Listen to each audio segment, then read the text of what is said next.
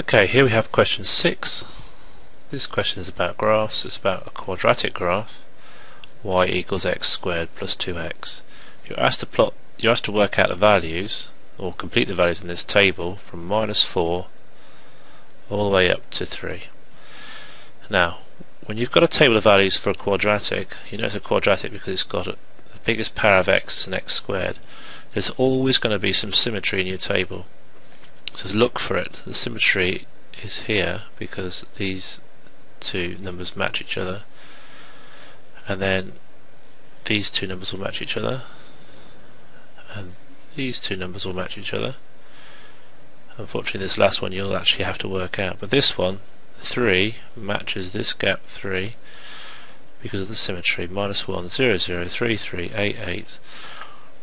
This final one here, where x equals 3, we need to work out this formula when x equals 3, so that's 3 squared plus 2 times 3, which is 9 plus 6, which is 15. So that value will be 15, one mark for each.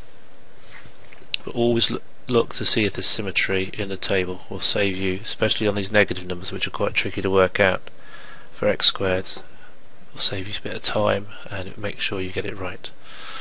Then you've got to use the table to complete the graph.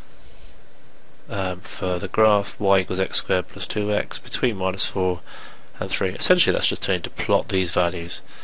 Our first value we're going to plot, we'll start with this one, 3, 15. So we go across 3 and up to 15, which is going to be about there. And then we got 2 and 8, across to 2, up to 8 then 1 and 3, cross 1 up 3, 0, 0, minus 1, minus 1. Be careful that this is minus 2, don't go down to the there, to the minus 2, go to the minus 1, minus 2, 0, and minus 3, 3, minus 4, 8. Now when you're drawing graphs you should be thinking about what shape you expect to see. And if it's not quite that shape, uh, as I said with x squared, y equals x squared graphs um, there will be symmetry and this is a nice U-shaped graph. Okay to finish it off you should draw a curve through these points. It will be very tricky for me to do this on the computer much easier to do it with a pencil um, that's fairly close, there's a little bit out there. You must try and get your curve to go through all the points that you've drawn. Okay, so that would be another two marks. Uh, use your graph to find the value of y when x equals 1.5.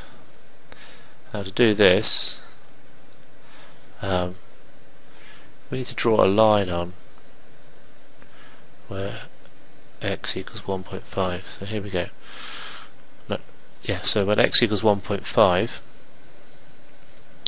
so x is this value here, there's one and a half. If I draw a line from there up to the graph, and then um, my graph's not particularly well drawn, but uh, where it touches the graph, draw a line across to the y-axis. You can then read off that value.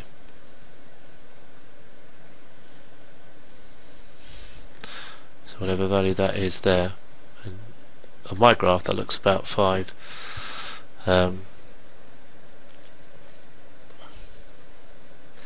what you mustn't do is put the number into the equation to work it out. It's because it says you use the graph, so you must show a line going to your graph.